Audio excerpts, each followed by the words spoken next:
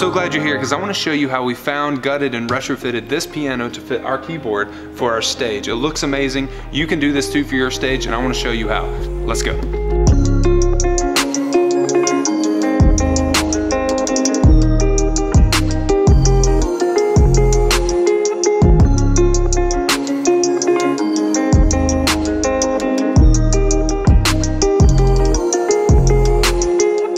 Welcome to Worship Leader Hangout. My name's Chad, and this guy behind me is Lester. Lester's the newest member of our worship team, but it didn't come easy. Lester was in desperate need of restoration, and I, I think we did a pretty good job.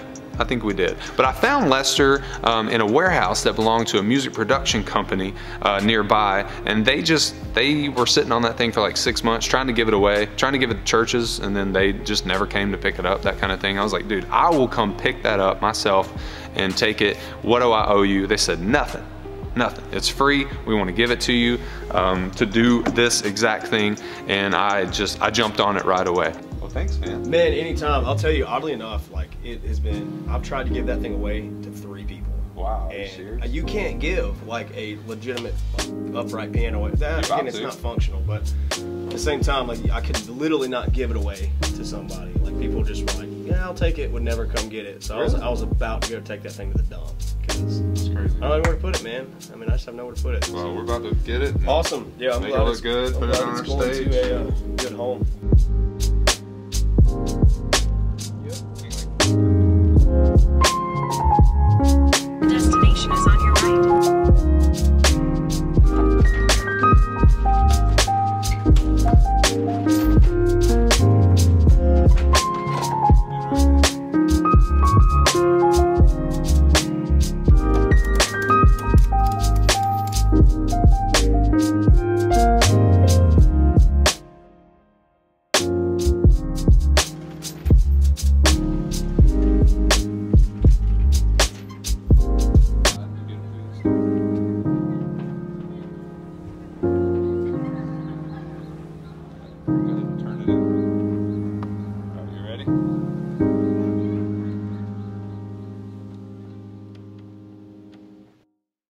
Your story may not be the same though. You might have to, you know, look on Craigslist like I did for like three or four months. Look on Craigslist, try to find that perfect piano that needs this done to it.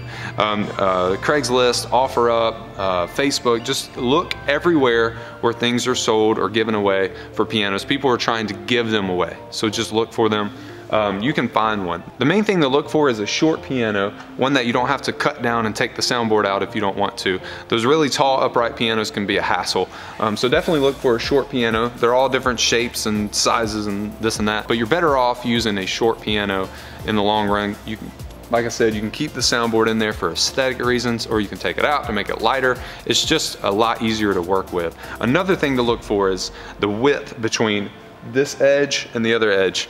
And ours is 52 and 3 8 inches. So definitely look for one that's wide enough to fit your keyboard. Whatever kind of keyboard or controller you use, make sure it fits it. I actually got lucky by like a quarter of an inch or so because I didn't even measure my keyboard. I didn't even think about it. I was like, ah, it's a piano, it'll fit. I just didn't think about it. When it was all said and done, we were about to put it on our stage, I laid the keyboard in there, I was like, wow, I'm glad this fits. So anyway, so think about that, look for that, measure your keyboard, measure the pianos when you go look at them before you pick them up. So gutting a piano doesn't come without a little bit of work. Now, we decided not to take the soundboard out for good reason. A, we would have to take all the strings off and to get to all the screws. There were like 20 something screws. Um, but also we like the way it looks. This is Jonathan. Jonathan has some experience yeah. in this. He actually uh, turned one into a desk for his house. He's done some other stuff too, so he's gonna be helping out. Yep. And we're just gonna get started and just get to work. All right. Get these clothes dirty. Am I right? Yes. All right. You ready? Let's do it. Let's do it. I have no idea where we're gonna start.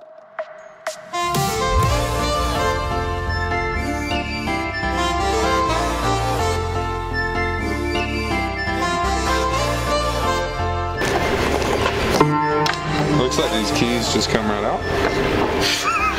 Unless I just broke it, which is totally fine. They come right out. They made it to do that. Yeah, yeah, exactly.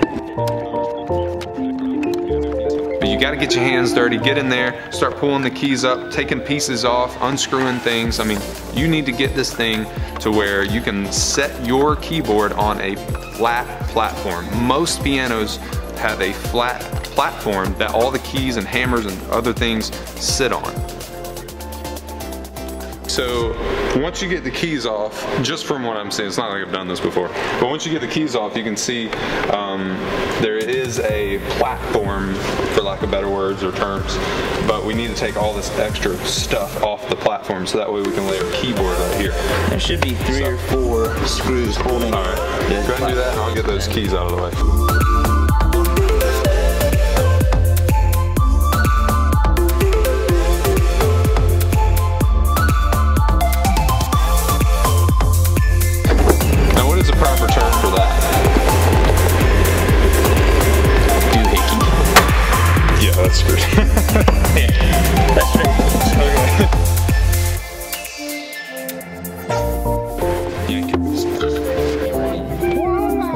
So our photographer for today was just uh, playing some Taylor Swift on Spotify, and it's in my head right now.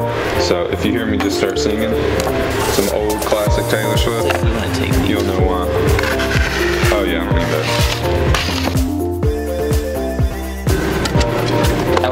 Now what you could do, if you wanted everything to have the same type of finish, now in our case we're painting it so it doesn't matter, what you could do is take that board. Now you have the same finished look for everything mm. if you were leaving the original finish.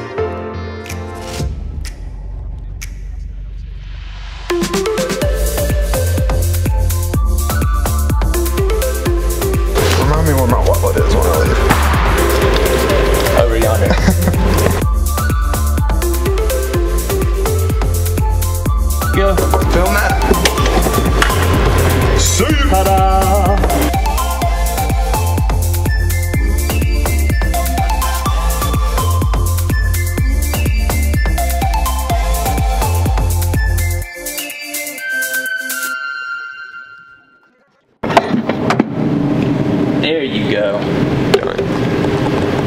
Martha! I'm just sanding this enough to rough it up to paint it. Literally, that's all I'm doing.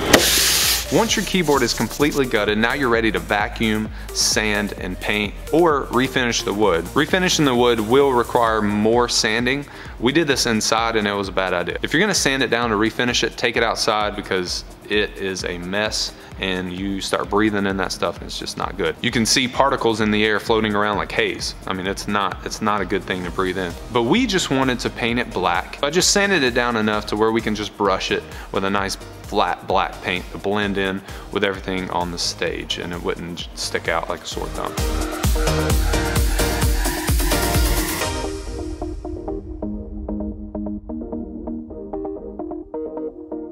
So once you're finished painting, you have the option to cover that with some kind of sealant or clear coat or whatever. We didn't. We kind of wanted that rustic look. It already had some broken edges and, and different things. I mean, even on this edge right here, you can see um, it's not perfect. And I'm okay with that because it is an old upright piano and that's the way it's supposed to look. We just painted it black to, to blend in with everything. But uh, so don't be afraid of some blemishes and things like that. I mean, this piece right here is like broken off.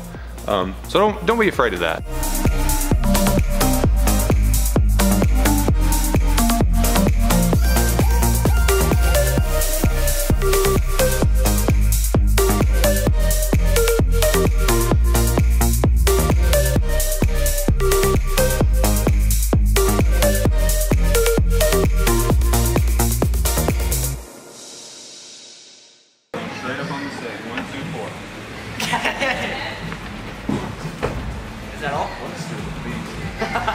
Yeah, that's it. Okay. So now it's time to place and position your piano on the stage. What we decided to do was use a six inch platform to kind of lift it up a little bit, give it a little bit of height to match the drum booth on the other side.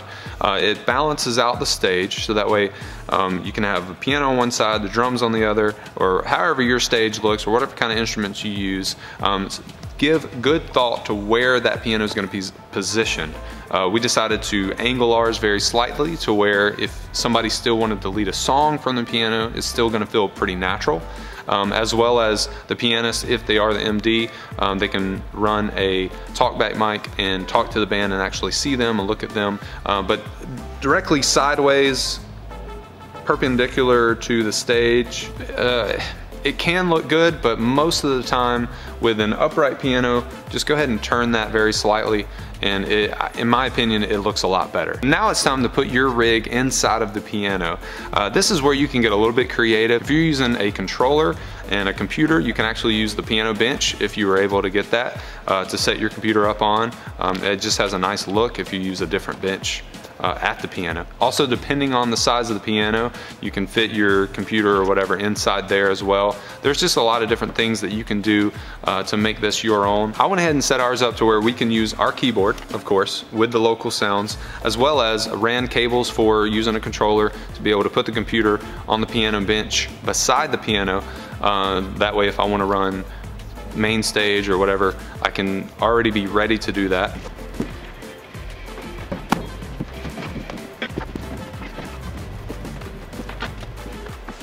Also ran an extra power cable um, that fits other pianos other than this one. So that way when our volunteers bring their pianos in, uh, they can we can take ours out, put it on stand behind stage, and they can put theirs in and their power cable's already there, as well as I secured that power cable and other cables to the soundboard of the piano.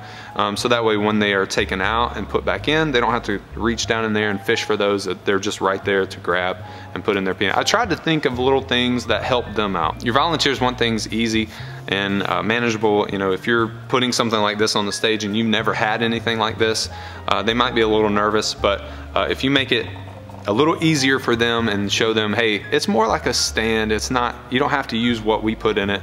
You can use your stuff. Uh, I think it makes them feel better. So definitely think about those things as you're running your cables and running your power. Also run your power and your all, all your cables inside of the piano to where you can't see them. It just looks so much better. You can actually run your cables from the front you know the side that you play on uh, underneath or over the top of the piece of wood that blocks you from actually getting to the soundboard. So uh, what I did was lift that piece of wood, that firewall, for lack of a better word, I can't think of anything else. But anyway, I lifted that, put a couple bumpers on there the way it sits, um, maybe a little over a half inch above there so it can fit all the cables. They ran out underneath and then to our power source or wherever those cables run. So there's some other way, you can drill holes and all those kinds of things too. I just decided not to um, and use what I had. You can actually see the a little bitty line and that's light coming through. I have a light inside the piano.